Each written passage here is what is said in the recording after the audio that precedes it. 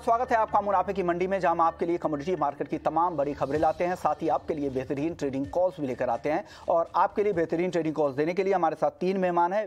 बीटूपन मजुमदार है B Majumdar dot com के technical expert है। अनुज गुप्ता है वीपी है कमोडिटी एंड करेंसी के आई सिक्योरिटीज से। रविंद्र राव है वीपी है हेड कमोडिटीज है, कोटक सिक्योरिटीज से। आप तीनों मेहमानों का स्वागत है और साथ ही आगे हमारे साथ होंगे श्रीपाल शर्मा होंगे, सूरतगढ़ से, किसान है, राजस्थान से हैं। साथ ही महेश पलावत होंगे। स्काईमेट के सीनियर साइंटिस्ट है। आप पाँचों मेहमानों का ईटी नाउ स्वदेश पर स्वागत है। आप सभी के पास आते हैं, लेकिन सबसे पहले देख लेते हैं आज की कुछ बड़ी खबरें। गोल्ड से शुरुआत करें। शुरुआती सुस्ती के बाद अब यहाँ पर खरीदारी लौट रही। करेंसी में जो कमज़ोरी है, उसका फ़ायदा घरेलू बाज़ार में मिल रहा है। कॉमिक्स पर अभी एक दायरे में कारोबार हो रहा है। इक्यावन हज़ार नौ सौ के ऊपर एमसीएक्स पर कारोबार हो रहा है। चांदी यहाँ पर तेज़ी अब धीरे धीरे बढ़ रही है। संतावन हज़ार पाँच सौ रुपए के ऊपर अब चांदी टिक गई है। क्रूड की बात करें तो सप्लाई की चिंता से यहाँ पर क्रूड को सपोर्ट है। ब्रेंट साढ़े पंचानवे डॉलर के ऊपर कारोबार कर रहा है। नेचुरल गैस मांग में कभी का अनुमान, छह सौ छब्बीस के नीचे एमसीएक्स पर नेचुरल गैस कारोबार कर रहा है। कॉपर हल्की तेज़ी यहाँ दिख रही है। चौथाई परसेंट के आसपास छह सौ बेस मेटल्स में सिर्फ़ जिंक एक ऐसा काउंटर है जहाँ पर आज दबाव दिख रहा है, पौना परसेंट से ज़्यादा की गिरावट हम जिंक में देख रहे हैं, बाकी सभी मेटल तेज़ी के साथ कारोबार कर रहा है। एग्री में मेंथा ऑयल, जहाँ पर हल्की तेज़ी है, नौ सौ तिरानवे रुपए के आसपास यहाँ पर एमसीएक्स पर मेंथा का वायदा ट्रेड कर रहा है। कॉटन बारिश से फ़सलों को नुकसान हुआ है तो एमसीएक्स पर तेज़ी लेकिन कॉटन की जो अगस्त ये सीज़न एंड का वायदा है, इस वजह से नेक्स्ट जो कॉन्ट्रैक्ट है, अक्टूबर के कॉन्ट्रैक्ट और अगस्त के कॉन्ट्रैक्ट में काफ़ी ज़्यादा फ़र्क भी दिख रहा है। हल्दी की बात करें तो यहाँ पर कमज़ोरी है, नीचे की तरफ़ कारोबार हो रहा है, जीरा चौथाई परसेंट से ज़्यादा की कमज़ोरी है, तेईस के नीचे, धनिया कम मांग से यहाँ पर दबाव दिख रहा है 11,350 के आसपास यानी मसालों में सभी काउंटर में कमज़ोरी के साथ ही कारोबार हो रहा है। चलिए आगे बढ़ते हैं और सबसे पहले आज बात करते हैं रुपए की। रुपए की चाल देखना ज़रूरी है क्योंकि वापस से यहाँ पर कमज़ोरी बढ़ती जा रही है। उन्यासी रुपए साठ पैसे के आसपास चला गया है। रविंद्र जी कितनी गिरावट और यहाँ से आप देख रहे हैं क्या वापस से 80 के ऊपर जाने वाला है रुपया? गुड मॉर्निंग विष्णु मोहन मेरे हिसाब से रुपी में अभी कंसोलिडेशन चल रहा है और अगर हम लेवल्स की बात करें प्राइस एक्शन की बात करें तो आई थिंक 8110 8120 स्पॉट पे अच्छा रेजिस्टेंस लेके प्राइजेस फिर से एक बार नीचे आए थे, लेकिन नीचे में 78 80 पे भी एक अच्छा सपोर्ट है। तो मेरे हिसाब से अभी थोड़ा सा साइडवेज हो सकता है। आई थिंक ये रेंज ब्रेकआउट अगर देता है तो एक हमें एक डायरेक्शन मिलेगा। अदरवाइज़ आई थिंक एक एक दायरे में ही ट्रेड करना चाहिए। और अगर 8110 8120 के ऊपर निकल जाता है सॉरी 80.10 80.20 के ऊपर निकल जाता है then we are set for 80.80 81 otherwise I think एक कंसोलिडेशन में ट्रेड होना चाहिए, क्योंकि डॉलर इंडेक्स का भी मूव देखे तो डॉलर इंडेक्स का मूव में एक एक सुस्ती दिख रही है, और 106 point fifty hundred and six point sixty के ऊपर ये सस्टेन नहीं कर पा रहा है। अगर वो सस्टेन नहीं करता है तो फिर से एक बार हम डॉलर इंडेक्स में थोड़ा बहुत डाउन साइड देख सकते हैं। नॉन फार्म पेरोल्स का डेटा जो है लास्ट वीक में वो थोड़ा सपोर्ट किया है डॉलर इंडेक्स को। बट अगेन जो दूसरे सेंट्रल बैंकर्स है, वो भी इंटरेस्ट रेट्स बढ़ा रहे हैं। तो उसकी वजह से जो फेड का आउटकम है, वो थोड़ा सा कहीं ना कहीं फेड आउट होते हुए दिख रहा है। और ज़्यादा एग्रेसिव स्टांस भी नहीं हो सकता है आगे जाके। तो मेरे हिसाब से डॉलर में थोड़ा बहुत डाउन साइड हमें दिख सकता है। तो मेरे हिसाब से थोड़ा सा बायस पॉजिटिव है यूएसडी में। बट एज ऑफ़ नाउ एक कंसोलिडेशन है। अगर कंसोलिडेशन निकल जाता है तो फिर हमें एक डायरेक्शन मिलेगा। तब तक के लिए seventy eight eighty on the down side और eighty point ten eighty point twenty on the upside तो अनुज जी, हालाँकि रुपए के लिए जितने भी माहौल है, सारे रुपए के लिए अभी तो पॉजिटिव होने चाहिए थे, रुपए में मजबूती आनी चाहिए थी क्योंकि क्रूड भी छः महीने के निचले स्तर पर है, साथ ही एफ़ की बाइंग भी लगातार अब इक्विटी मार्केट में देखने को मिल रही है। जुलाई के पाँच हज़ार करोड़ जो इक्विटी मार्केट में निवेश देखने को मिला था एफ़ की तरफ़ से, अब अगस्त के पहले ही हफ़्ते में चौदह हज़ार करोड़ के ऊपर पहुँच गया है। तो इसके बाद भी रुपया क्यों कमज़ोर हो रहा है? आप क्या वजह मान रहे हैं? Vishnumohan ji good morning. देखिए, डॉलर इंडेक्स में तेज़ी आने की वजह से हमने रुपये में थोड़ा सा यहाँ पे गिरावट देखी है। मगर अगर हम पिछले तीन महीनों तीन दिनों की बात करें तो हमने यहाँ पर एक काफ़ी शार्प मोमेंटम देखा है, जहाँ हमने एक रुपये की मजबूती के साथ अगेन एक डेप्रिसिएशन आते हुए देखा है। तो 80 का जो लेवल है, वो एक रेजिस्टेंस के तौर पर यहाँ देखने को मिला है। जो इसके पीछे मेन रीजन है, वो डॉलर इंडेक्स में तेज़ी ही है, क्योंकि जैसे ही हमने डॉलर इंडेक्स में तेज़ी देखी और बॉन्ड यील्ड बढ़ती हुई दिखाई दी, उसकी वजह से हमने रुपया यहाँ पर वीक होते हुए देखा है। मगर अब जो फंडामेंटल सामने आ रहे हैं एफ़ की खरीदारी यहाँ पर लौटती हुई दिख रही है। एफ़ का इन्वेस्टमेंट भारत में आता हुआ दिख रहा है। साथ में अगर देखें तो क्रूड के प्राइजेज ऑलमोस्ट तीन महीने के लो लेवल पर आते हुए दिखाई दे रहे हैं। तो हमें लगता है कि रुपया यहाँ पर अगेन अब एक स्ट्रॉन्ग होता हुआ दिखाई देगा।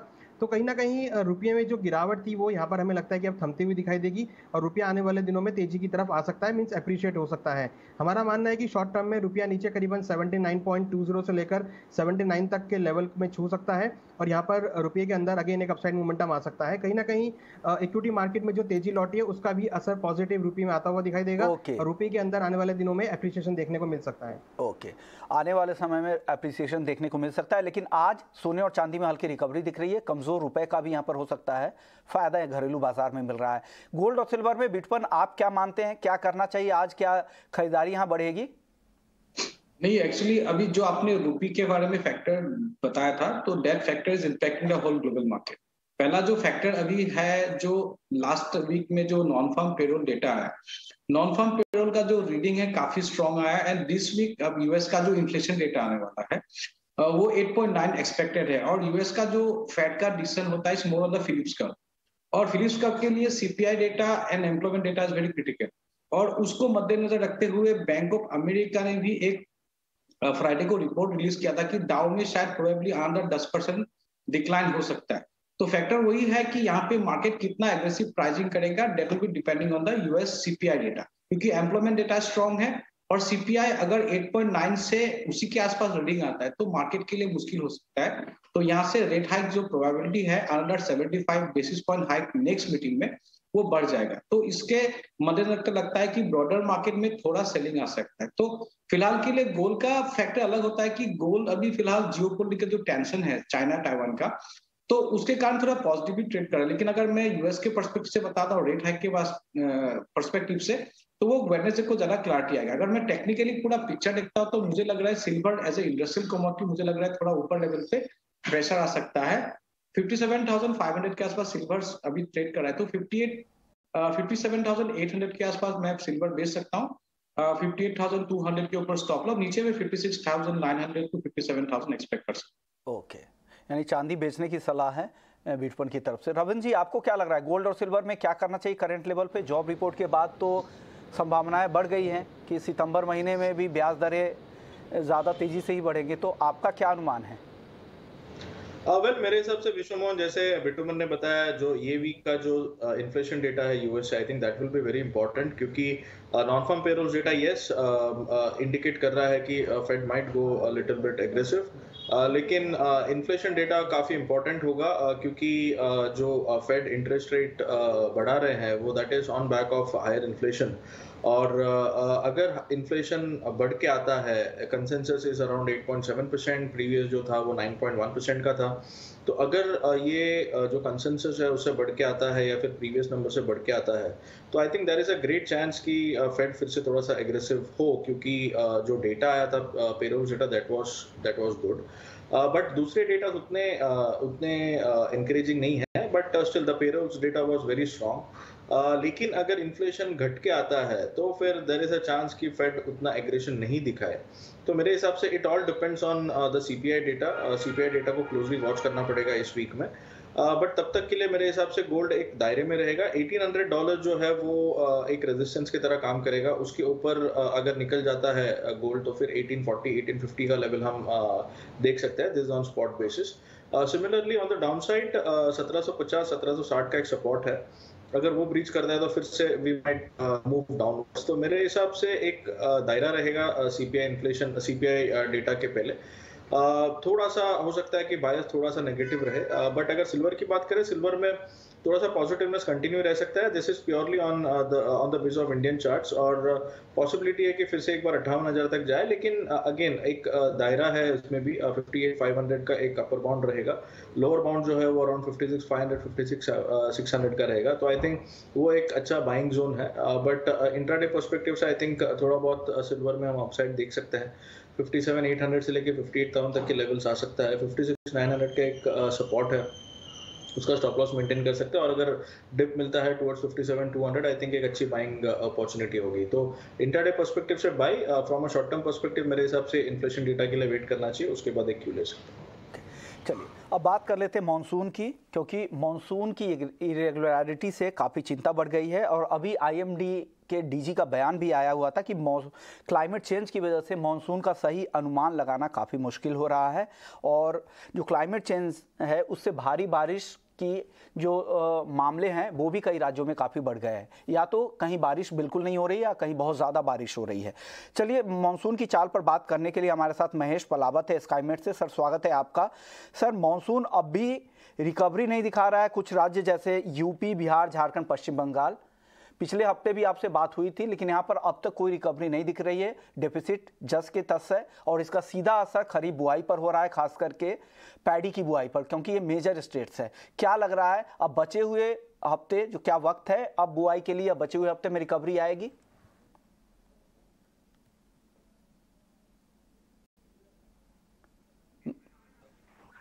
देखिए अभी जो बचा हुआ टाइम है उसमें हमें लग रहा है कि जो अगले पंद्रह दिन तक तो यूपी बिहार और पश्चिम बंगाल में बारिश नहीं होगी लेकिन जो लो प्रेशर एरिया बना है उसके प्रभाव से झारखंड के पश्चिमी दक्षिणी जिलों में थोड़ी बहुत बारिश हो सकती है लेकिन हम्म। कुल मिलाकर के बहुत ज़्यादा अच्छा रिकवरी इस इलाके में दिखाई नहीं दे रही अगस्त के महीने में भी। क्योंकि क्या हो रहा है कि एक के बाद एक लो प्रेशर एरिया बनने वाले हैं बंगाल की खाड़ी में। जैसा हमने देखा था, जुलाई के शुरुआती दौर में बने थे। और ये लगातार पश्चिम दिशा में आगे बढ़ेंगे। तो उड़ीसा, छत्तीसगढ़, तेलंगाना और मध्य प्रदेश के साथ साथ महाराष्ट्र, गुजरात और साउथ राजस्थान में भारी बारिश लगातार जारी रहेगी।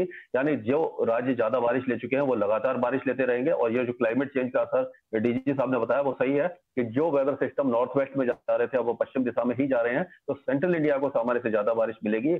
और जो पूर्वी भारत है, खास करके जो आपने मैंशन किया है, इन इलाकों को अभी भी बहुत अच्छी रिकवरी दिखाई नहीं दे रही। जी।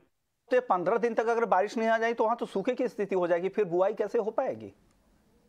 जी हाँ लगता तो ऐसा ही रहा है, क्योंकि जो बारिश है, वो बहुत हल्की है। अभी कुछ इलाकों में हुई जैसे फुर्सतगंज में हुई है और ये वाराणसी वगैरह में थोड़ी बहुत अच्छी बारिश हुई है, लेकिन ओवरऑल जो मानसून है, वो अभी भी अगले 10-15 दिनों तक वीक रहेगा और बहुत ज़्यादा तो जैसे मैंने बताया कि जो सेंट्रल इंडिया में ही लो प्रेशर एरिया बनेगा, जब तक एक्सेस ऑफ़ मानसून उत्तर में नहीं चलती और जब तक लो प्रेशर एरिया बनते रहेंगे तो इसको ऊपर नहीं आने देंगे। तो यही कारण है कि पहले एक्सेस ऑफ़ मानसून ट्रफ ज़्यादातर गंगा के मैदानी क्षेत्रों में रहती थी और वहाँ पर लगातार बारिश होती रहती थी खास करके सावन बादों के महीने में जो अभी जुलाई और अगस्त है।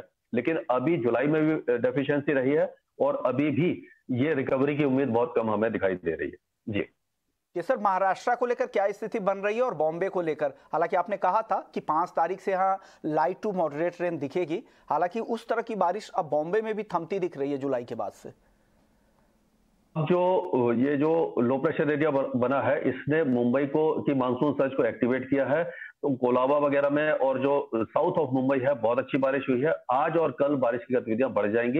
ये दो तीन दिनों तक रहेगी। और कई इलाकों में साउथ गुजरात से लेकर के जो मुंबई, थाने, दहानू और अलीबाग वगैरह है, यहाँ पर भारी बारिश की संभावना है। थ्री डिजिट रेनफॉल से इनकार नहीं किया जा सकता। अगले दो दिनों के दौरान और ये 11 तारीख तक रह सकती है। उसके बाद फिर से बारिश कम हो जाएगी और उसी तरह से महाराष्ट्र के ज़्यादातर इलाके खास करके जो नासिक जलगांव मालेगांव अहमदाबाद अहमदनगर शिरडी वगैरह से लेकर के नागपुर अकोला अमरावती वाशिम भंडारा जो यानी कि मराठवाड़ा के कुछ इलाके महाराष्ट्र के साथ साथ मध्य प्रदेश और गुजरात में भारी बारिश। ओके यानी सेंट्रल इंडिया है जहाँ पर काफ़ी बारिश होगी लेकिन कुछ राज्य हैं जहाँ पर चिंता बहुत ज़्यादा है। पूर्वोत्तर राज्य और उत्तर भारत के भी कुछ स्टेट्स हैं कुछ इलाके हैं जहाँ पर बारिश की दिक्कतें हैं। चलिए शुक्रिया महेश पलावत सर आपने वक्त निकाला हमारे लिए और पूरी एनालिसिस की। अनुज जी अब क्या लग रहा है जिस तरह की बारिश हम राजस्थान में हो रहे हैं और स्काईमेट का भी अनुमान है कि राजस्थान में इस बार भारी बारिश होगी क्या लग रहा है? ग्वार की फ़सल को लेकर क्या अनुमान लगाए जा रहे हैं और ग्वार की चाल कैसी रह सकती है? आगे। विष्णु जी, देखिए हमने ग्वार के प्राइसेस में गिरावट आते हुए देखी है, क्योंकि जिस तरीके से हमने राजस्थान में मानसून देखा है तो डेफिनेटली बुआई इस बार बढ़ सकती है। वहीं अगर हम ग्वार सीड या कॉटन की बात करें तो दोनों ही कमोडिटी सबसे ज़्यादा हम राजस्थान में देखते हैं, और यहाँ पर हमें लगता है कि अच्छी बारिश होने की वजह से एकरेज और ग्वार पैदावार है, वो यहाँ पर बढ़ सकती है। तो उसी का सर हम प्राइसेस में देख रहे हैं और हम कंटिन्यूसली देख रहे हैं कि ग्वार सीड का प्राइसेस ग्वारगम के प्राइसेस में कंटिन्यूस गिरावट आती हुई दिखाई दे रही है। तो क्रॉप इस बार अच्छी हो सकती है। एकरेज भी इस बार बढ़ने की उम्मीद है। तो हमें लगता है कि ग्वारसीड और ग्वारगम के प्राइसेस में आने वाले दिनों में भी नरमी का ट्रेंड रहेगा। हालाँकि ऑलरेडी प्राइस काफ़ी गिर भी चुके हैं। तो यहाँ पर मुझे लगता है कि अगर हम टेक्निकल चार्ट्स में देखें तो प्राइस थोड़ा बहुत रिबाउंड ले सकते हैं ऊपर में पाँच हज़ार के आसपास। फिर अगेन हमें गिरावट आती हुई देखेंगे। तो करंट रेट से हमें लगता है कि एक बाउंस बैक आ सकता है। मगर लंबी अवधि की अगर बात करें तो प्राइसेस ऐसे ही एक लोअर साइड में ट्रेड करते हुए दिखाई देंगे। चलिए मसालों को लेकर क्या आउटलुक है आपका? अनुजी, क्या लग रहा है मसालों में? क्योंकि जिस तरह की कमज़ोरी आज यहाँ पर दिख रही है, क्या करना चाहिए? देखिए, मसालों में अगर देखें तो जीरा, टर्मरिक, कोरिएंडर तीनों में ही हमने पिछले तीन चार दिनों में काफ़ी गिरावट आते हुए देखी है। हमें लगता है कि थोड़ा सा जो ट्रेंड है, वो एक डाउन साइड में बदलता हुआ दिखाई दिया है। तो शॉर्ट टर्म के लिए अगर हम एक या दो दिन की बात करें या हम अगर इस हफ़्ते की बात करें तो हमें लगता है कि जीरा, टर्मरिक, कोरिएंडर में कुछ गिरावट यहाँ देखने को मिल सकती है। तो जीरा, टर्मरिक, कोरिएंडर में हमारी इस हफ़्ते के लिए एक सेल पिक रहेगी। हमें लगता है कि जीरा में बिकवाली का ट्रेड बना सकते हैं। नीचे करीबन बाईस हज़ार आठ सौ तक के लेवल देखने को मिल सकते हैं। चौबीस हज़ार एक सौ पे स्टॉप लॉस लगाएँ। टर्मरिक के अंदर भी एक्सपेक्टेड है कि नीचे करीबन सात हज़ार एक सौ से लेकर सात हज़ार तक के लेवल देखे जा सकते हैं। कोरियंडर के अंदर भी करीबन एक्सपेक्टेड है कि ग्यारह हज़ार एक सौ, ग्यारह हज़ार तक के लेवल देखने को मिल सकते हैं। तो शॉर्ट टर्म एक ट्रेंड डाउन आता हुआ दिख रहा है, मगर अगर हम लॉन्ग टर्म ट्रेंड की बात करें क्योंकि एक्सपोर्ट डिमांड काफ़ी अच्छी बनी हुई है और आगे जिस तरीके से हमें लगता है कि एक्सपोर्ट डिमांड कंटिन्यूस बनेगी तो वहाँ पर हम एक अच्छी एक्टिविटी आते हुए देखेंगे। तो फ़िलहाल अभी अगर किसी को शॉर्ट टर्म ट्रेंड लेना है तो बिकवाली का ट्रेड ले सकते हैं और अगर किसी को लॉन्ग टर्म के लिए ट्रेंड लेना है तो थोड़ा वेट करें। नीचे भाव आते हैं तो खरीदारी का ट्रेड ले सकते हैं। मगर करंट स्ट्रेटेजी के अकॉर्डिंग हमें लगता है कि यहाँ पे बिकवाली का ट्रेड बना के चला जा सकता है। चलिए अब हमारे साथ सूरतगढ़ से किसान हैं श्रीपाल शर्मा जी भी हैं। सर स्वागत है आपका ईटी नाउ स्वदेश पर। सर राजस्थान में तो अच्छी बारिश की संभावना है और हो भी रही है। सामान्य से अब तक 40 परसेंट ज़्यादा बारिश हुई है राजस्थान में। तो लेकिन ए, कुछ फ़सलों की बुआई को लेकर अब भी चिंता है तो वहाँ पर क्या स्थिति है दलहन बुआई को लेकर और बाकी ग्वार को लेकर? देखिए सर ये इस बार एक अच्छी बात हमें देखने को मिली है कि पिछले कई सालों के मुकाबले इस बार जो राजस्थान में बारिशें जो हुई है, वो बहुत अच्छी हुई है। चाहे वो उत्तरी राजस्थान हो, चाहे वो पश्चिमी राजस्थान हो या साउथ राजस्थान हो। अब दलहन की बुआई की जैसे आपने बात की तो मैं आपको बता दूँ कि पिछली बार उत्तरी राजस्थान में, उत्तर पश्चिमी राजस्थान में मूंग की अच्छी बिजाई हुई थी, लेकिन उत्पादन जो है, वो बहुत कमज़ोर रहा, मूंग की फ़सल एक खराब हो गई थी। इस वजह से किसानों ने इस बार मूंग की फ़सल को बहुत कम बिजाई की है मूंग की फ़सल की और कॉटन की बिजाई नरमा की बिजाई बढ़ी थी। ग्वार की बात करें तो ग्वार की बिजाई पिछले तीन चार सालों से लगातार हम देख रहे हैं कि नहरी जो बेल्ट है, गंगानगर का, हनुमानगढ़ का और ये कैनाल एरिया जो आईजीएनपी का है तो इसमें ग्वार की बिजाई लगातार पिछले तीन चार सालों से घट रही थी। वो इस बार ब्रेक हुई है थोड़ी सी बड़ी है, लेकिन बरानी में इस बार कई सालों से अच्छी बारिशें होने के कारण ग्वार की विदाई बढ़ी है और रकबा बढ़ा है, ये सबसे अच्छी बात है। मूंग की विदाई इस बार पिछले साल से कमज़ोर रही है और फ़सल अभी ठीक है, लेकिन बिजाई कमज़ोर रहेगी जी सर। ऑल इंडिया जो मूंग के जो अब तक के नंबर आए हैं, बुआई के नंबर, वो पिछले साल से अभी दो परसेंट ज़्यादा है। लेकिन जो दो और दालें, उड़द और अरहर, इन दो दालों की बुआई को लेकर चिंता है। इनकी बुआई काफ़ी कम है, दस परसेंट तक कम अरहर की बुआई हुई है पिछले साल के मुकाबले। सर ओवरऑल वहाँ पर दलहन बुआई की क्या स्थिति है राजस्थान में? देखिए मोस्टली राजस्थान में तुअर की, अरहर की बिजाई कम होती है इधर नॉर्थ वेस्ट राजस्थान में। लेकिन सबसे ज़्यादा दलहन की अगर बात करें तो इस सीज़न में मूंग की बिजाई होती है जो सबसे ज़्यादा होती है, पूरे ऑल ओवर राजस्थान में। जिसमें नॉर्थ वेस्ट राजस्थान में सबसे अधिक होती है, लेकिन इस बार कुछ कम रही है पिछले साल के मुकाबले। शुक्रिया सर, आपने वक्त निकाला हमारे लिए और बताया कि ग्राउंड पर क्या स्थिति है, राजस्थान में किस तरह की बुआई की स्थिति, मौजूदा स्थिति है। बारिश अच्छी होने से इस बार ग्वार का रकबा वहाँ बढ़ा है। भाव भी हालाँकि हाल में अच्छी तेज़ी आई थी, ऊपरी स्तरों से हालाँकि अब टूट भी चुके हैं, लेकिन भाव ऊपर अभी भी है। तो इस वजह से लग रहा है कि ग्वार में आगे फ़ायदा होगा। तो किसानों ने बुआई बढ़ाई है और काफ़ी कई कई सीज़न के बाद राजस्थान में इस साल अच्छी बारिश भी हुई है। चलिए आगे बढ़ते हैं और नॉन एग्री मार्केट की बात कर लेते हैं। सबसे पहले क्रूड की। ब्यूटपन क्या लग रहा है क्रूड में? शुरुआती सुस्ती के बाद अब फिर से तेज़ी दिख रही है। करीब करीब पौना परसेंट की तेज़ी है। क्या करना चाहिए क्रूड में आज? देखिए, क्रूड ऑयल में मैं अगर चार्ट वाइज देखता हूँ तो मुझे स्लाइट एक मॉडरेट पुलबैक रिकवर दिख रहा है। और अभी फ़िलहाल के लिए तो बाई साइड में मार्केट ट्रेड दिख रहा है। कोई भी डिप्स आता है तो बाई पे रहना है। और जिस तरह से ओपेक का जो आउटपुट हाइक है it was like a peanut तो मार्केट में कोई सप्लाई जो कॉन्सेप्ट आपने पहले बताया था, वो मार्केट में है। और मुझे लग रहा है कि क्रूडल शायद आज seven two five zero on MCX हो सकता है। और गोइंग फॉरवर्ड लग रहा है कि जो नामिक्स वाला क्रूडल है 85 80 जो बॉटम रेंज है, उससे शायद अभी इमीडिएटली नीचे नहीं जाएगा। और साथ में ग्लोबल जियोपॉलिटिकल टेंशन भी है। तो फ़िलहाल के लिए इंट्राडे परस्पेक्टिव से मुझे लग रहा है क्रूडल में थोड़ा बाइंग आएगा। 70 टू 50 70 टू 70 भी या 73 100 तक भी मार्केट जा सकता है। तो एंड से गुड आइडिया रविंद्र जी, आपको क्या लग रहा है क्रूड में आज?